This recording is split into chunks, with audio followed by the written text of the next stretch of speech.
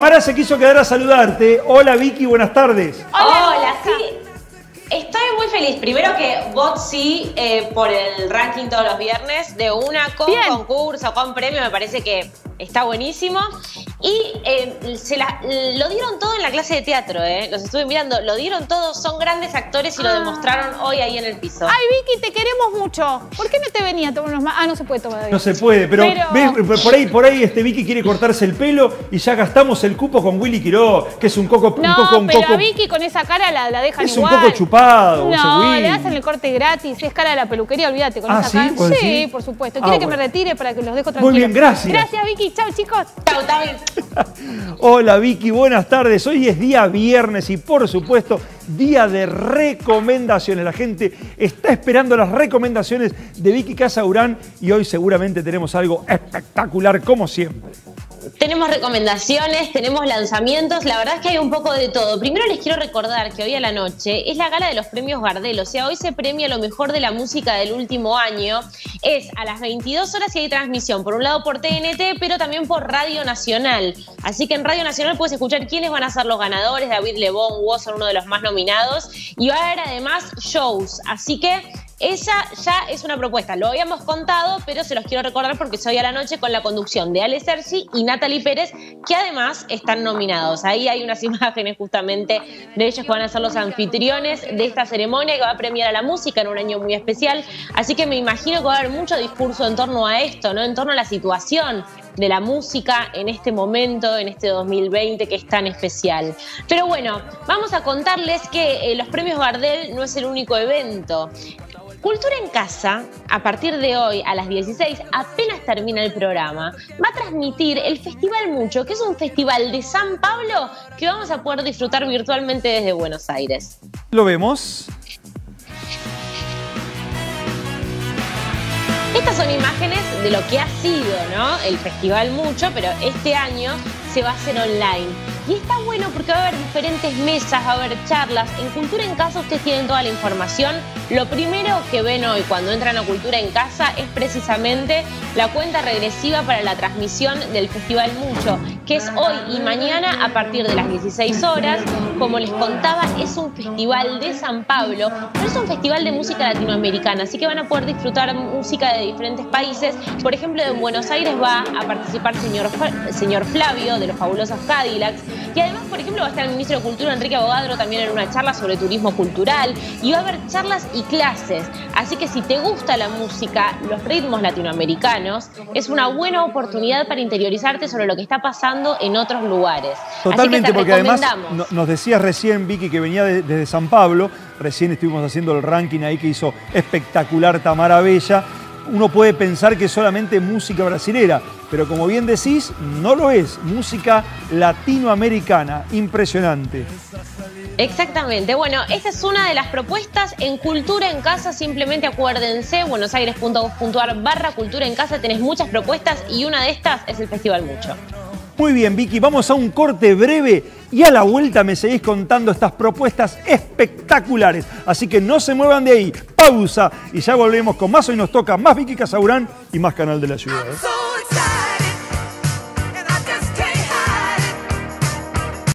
Cuídate sin miedo. Cuidémonos con responsabilidad. Si te quedás en casa, acá en el canal de la ciudad, te hacemos compañía. Quédate en casa. Quédate en el canal de la ciudad.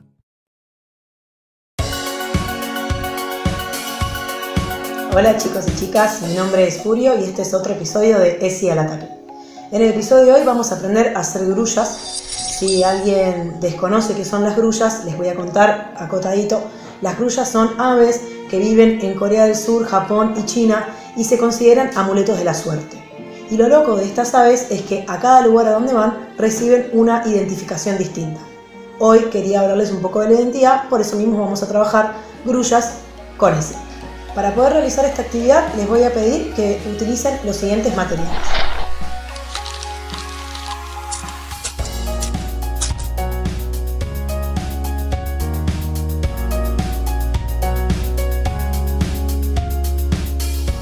Una vez que tengas tus materiales listos, busca en YouTube cómo hacer una grulla de papel. Bien, ¿pudieron hacer sus grullas? Miren, yo hice un montonazo. Estuve un rato practicando y me salieron re. Bien, para finalizar este ejercicio les voy a pedir lo siguiente. Van a tomar una grulla, la que más les guste, y en una de sus alas van a escribir su nombre y algo que identifique a su identidad.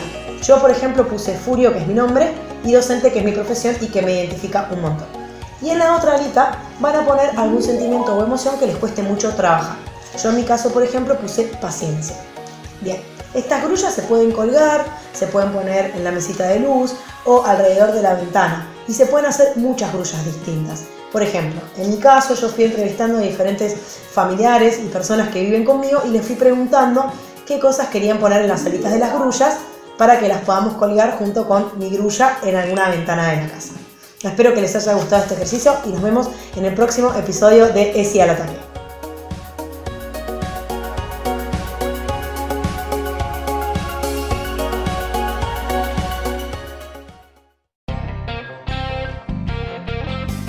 Hay un programa pensado para los apasionados por la naturaleza y la aventura.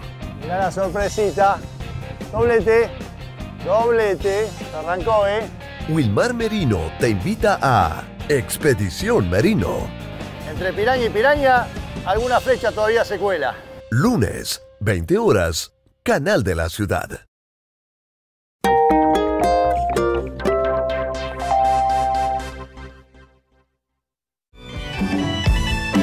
Artistas consagrados y nuevas generaciones de músicos cada domingo se encuentran en el Canal de la Ciudad. Las canciones a veces te vienen a buscar desde el fondo de tu memoria. Yo creo que el que para se convierte en otra cosa. Claro. Está muy bien.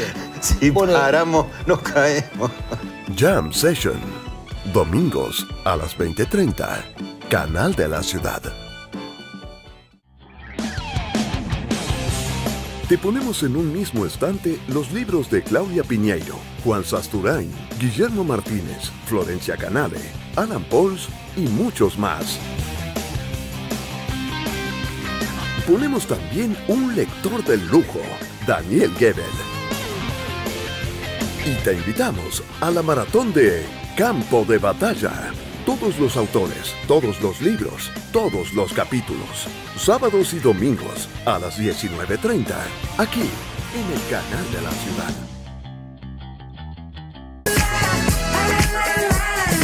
1538 en toda la República Argentina y seguimos conectados con nuestra compañera Vicky Casaurán. Seguimos de recomendaciones. Bueno, el otro día, Dani, vos me mandaste una nota sobre las series más vistas en Netflix. Y yo, en general, en esta columna traigo más cosas locales porque me parece que es importante bancar a la cultura Totalmente. de la ciudad de Buenos Aires en este momento, a las movidas más independientes que están haciendo los actores, las actrices. Pero este documental del que vamos a hablar es una producción original de Netflix que no puedo obviar. ¿Por qué? Porque si entras a Twitter, entras a todos los diarios, entras a Instagram, fue el documental de la semana. Todo el mundo hablando del dilema de las redes sociales. ¿Lo vemos? Lo vemos.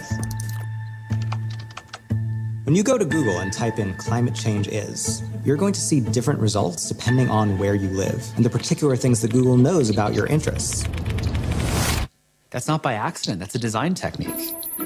What I want people to know is that everything they're doing online is being watched, is being tracked. Every single action you take is carefully monitored and recorded. A lot of people think Google's just a search box and Facebook's just a place to see what my friends are doing. What they don't realize is there's entire teams of engineers whose job is to use your psychology against you. I was the co inventor of the Facebook like button. I was the president of Pinterest. Google, Twitter, Instagram. There were meaningful changes happening around the world because of these platforms. I think we were naive about the flip side of that coin. We get rewarded by parts, likes, thumbs up. Bueno, and we ahí- ah, conflate bueno, ahí that with tenemos value, and subtítulos. we conflate it with truth. A whole generation is more anxious, more depressed. I always felt like fundamentally it was a force for good. I don't know if I feel that way anymore. Facebook discovered that they were able to affect real world behavior and emotions without ever triggering the user's awareness. They are completely clueless. fake news spreads six times faster than true news. We're being bombarded with El rumors. dilema de las redes sociales. Este es solo el principio, es un pedacito del documental que podés ver en Netflix, que está disponible, es un estreno y que está causando mucho debate precisamente a través de las redes sociales y en estos momentos de virtualidad. Eh, ¿Viste cuando se dice, el celular me escucha? Porque cuando entro a mi red social me sugiere algo que estoy hablando con alguien. Bueno, el celular no te escucha, pero la paranoia que genera tiene sentido. Y acá en este documental te va a contar en primera persona muchas personas que trabajaron en redes sociales como Google, Facebook, Pinterest, Twitter, Instagram, etcétera. Se llama The Social Dilemma o el dilema de las redes sociales. Te van a contar cómo efectivamente ellos renunciaron a estas redes sociales por dilemas éticos, por cómo se trabajaba con la información de las personas, cómo se, había estrategias, cómo existen estrategias para que vos cada vez estés más dependiente de la red social, cómo genera adicción, cómo puede causar depresión en las personas. Eh, yo vi este documental y voy a hacer el experimento. Voy a intentarlo, ¿eh? no, no estoy segura si me voy a animar, pero voy a, voy a hacer el intento de apagar el celular por un día. Yo, Dani, hace muchos años que tengo el celular al lado y Sí, no lo claro. dejo. To- No sé si te pasa a vos. Hay muchas personas que ahora lo que hacen es hacer apagones el fin de semana dicen, bueno, apago el celular o lo dejo en mi lugar de trabajo y durante todo un día no lo agarro. Yo aún nunca lo hice, pero de verdad que ver este documental te hace pensar la adicción que tenemos con el teléfono, puede ser con la computadora, con el iPad. Yo la verdad es que como lo tengo siempre al lado, no, no, siento lo que es esa abstinencia, pero hay que hacer el ejercicio y ver si nos bancamos eso y qué pasa, porque de verdad que lo primero que hacemos cuando nos despertamos y lo último que hacemos antes de irnos a dormir es mirar el teléfono. Totalmente. Mira, me pasó cuando se me rompió el teléfono y lo tuve que dejar y no tenía un reemplazo para cambiar el chip o alguna cosa de esa, no tenía otro teléfono. Las primeras horas eran de desesperación, Vicky. ¿Qué Total y absoluta. No, la Ansiedad. necesidad de estar, la ansiedad, la necesidad de estar mirando que Instagram, que si alguien me llamaba o que no estoy conectado con el mundo, no pasó absolutamente nada. Como era No antes. pasó absolutamente nada. No pasó Pero acá lo que te absolutamente nada. Conecté es en cómo mi casa. sí. No, conecté Sí, en mi casa el teléfono a disco, uno que tengo viejo para, para tener teléfono de línea por cualquier cosa. No pasó absolutamente nada. Y al, al segundo día, porque me tocó, me agarró un fin de semana, ya el segundo día te puedo asegurar que era feliz. Estaba re contento. No tenía ganas de ir a buscarlo. Una vez, eh, obviamente, cuando volví a buscar el celular Te y lo a agarré, te volvés a enganchar y todo volvió a ser como antes.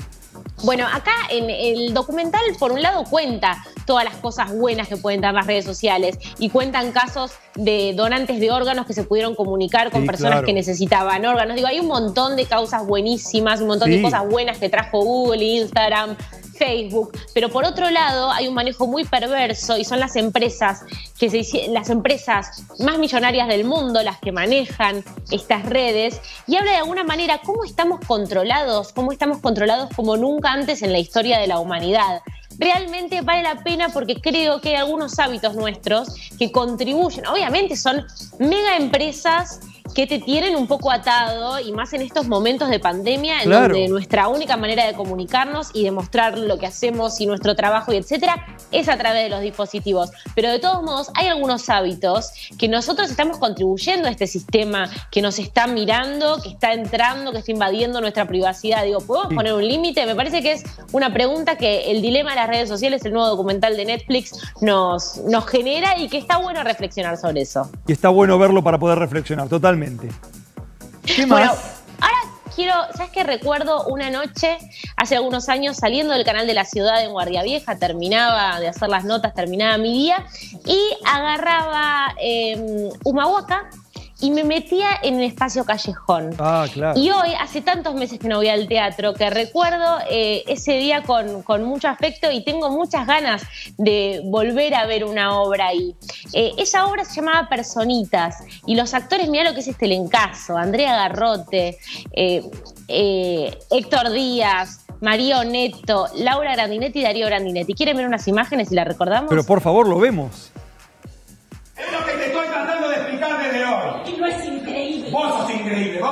Vos sos increíble, a vos no te importa nada. Para vos esto es un juego. Me está tomando el pelo. Es 17 de octubre, se quiere pasar el. ¿Qué es lo que quiere que yo entre a la iglesia con el gorro frío? Que, que, que suene la marchita.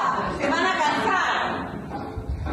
Sí, en una de esas. El arte no cambia nada, ¿eh? No, no, no. Un mundo con arte y un mundo sin arte. Son mundos completamente diferentes. Un mundo con guerras, un mundo sin guerra. Lo que no se repite no tiene valor. Bueno, eso porque nos guiamos por lo conocido. Ahí Estamos viendo unas imágenes de personitas que se va a poder ver a partir de hoy. La entrada la puedes sacar por alternativa teatral. Es una obra deliciosa de teatro independiente de la ciudad de Buenos Aires, así que se las recomiendo muchísimo.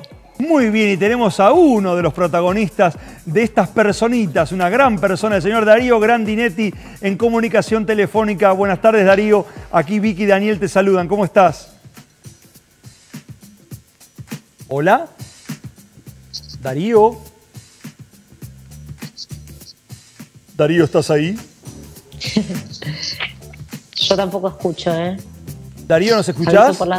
Hola, hola. Uno, dos, tres, probando. Ay, se nos ha caído. Vamos a tratar de, de recomponer la comunicación porque lo tenemos a Darío Grandinetti, como bien decías vos, uno de los, de los personajes de este elencazo, Vicky. Sí, una, eh, ¿sabes qué? Yo pensaba eh, en personitas y decía, son esas obras que hoy repasando el elenco, digo, estaba en el Teatro Callejón, que es una sala relativamente mm, chica en el sentido de que genera una intimidad, con Héctor Díaz, Mario Neto, Andrea Garrote, Darío Grandinetti y Laura Grandinetti, que, si no me equivoco fue la primera obra en la que yo vi a Laura, que después la empecé a descubrir eh, tanto en audiovisual como en teatro como una gran, gran, gran actriz. Eh, de verdad que Espacio Callejón es el teatro en donde vamos a encontrar siempre a Javier Dolte, de hecho es el dramaturgo y el director de esta obra, que habla sobre unos hermanos que ocultan algo. Estas personitas, no estoy hablando de, de estos adultos que vemos ahí, sino que tienen un secreto guardado en esa casa y durante la obra lo van a descubrir.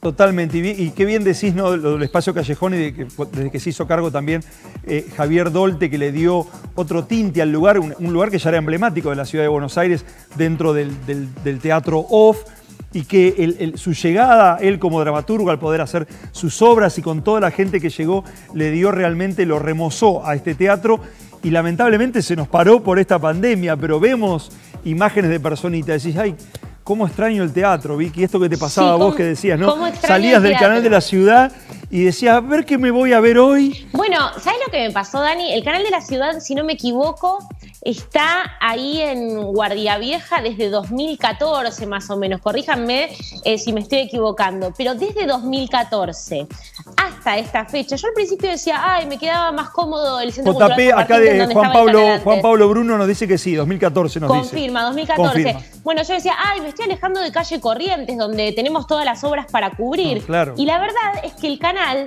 se mudó a la zona del Abasto, donde cada vez, desde 2014 hasta ahora, cada vez hay más teatros. Cada vez hay bares, cada vez hay más teatros. Y de verdad que la zona del Abasto hoy es la zona para el teatro independiente. Bueno, vos recordás lo que fue el Festival Internacional, la cantidad de obras y de cosas que pudimos disfrutar en estas calles y en la, y en la, en la gomería de la esquina y en el taller de, de dos cuadras y en el balcón y en el... O sea, se transformó realmente en un polo cultural de la ciudad.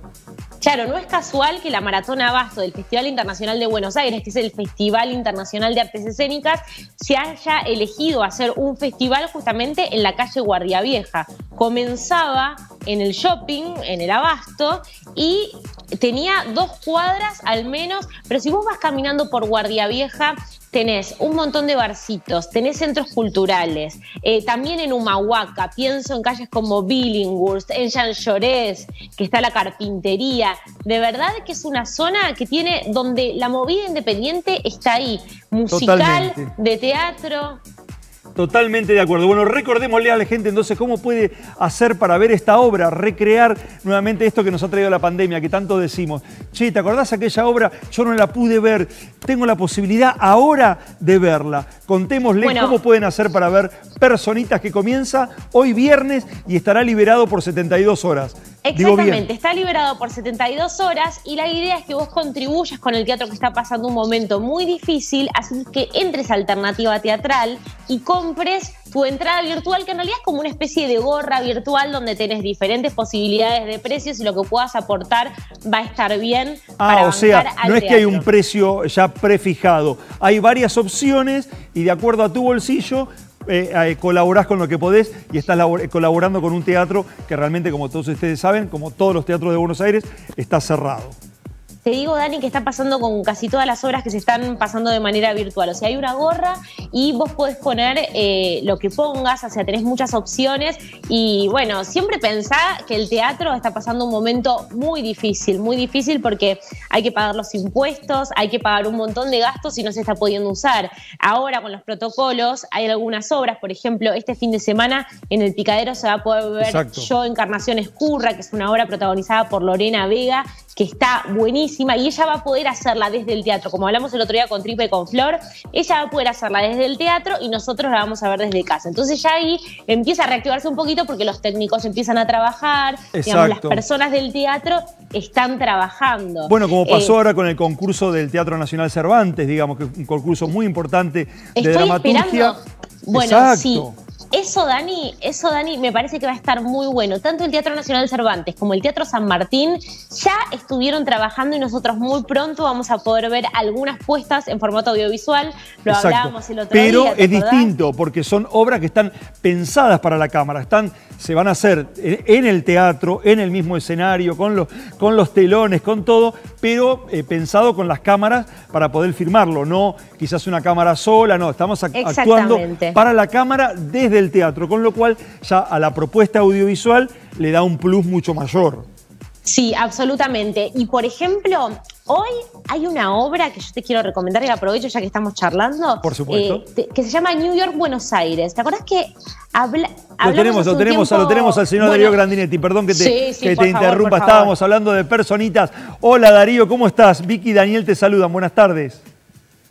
Hola, buenas tardes, ¿cómo les va? Bien, bueno, muy bien y muy contentos. Imagino que vos también de, de que se ponga esta obra y de esta manera y para ayudar a un teatro tan querido como es el Espacio Callejón. Sí, sí, yo decía en otra nota que bueno, es un momento delicado para todos. eh, las salas pequeñas que tienen que seguir pagando impuestos y, y co- cosas y sueldos y bueno, eh, han- han encontrado esta, esta manera de y bueno que puedan ver una obra que se hizo durante bastante tiempo con mucha repercusión y y bueno, en, en estos tiempos me parece que hay que agudizar el ingenio y, aunque sea de una manera temporal, eh, una solución. No, por supuesto que sabemos que el teatro necesita de la presencia del espectador en la sala y queremos que eso vuelva cuanto antes. Claro. Eh, pero bueno, de momento arreglarnos con esto, ¿no? Darío, eh, recuerde- para contarle a la gente que quizás no la vio, ¿qué te gustó a vos de la historia Personitas, de contarla con ese elenco y en ese lugar?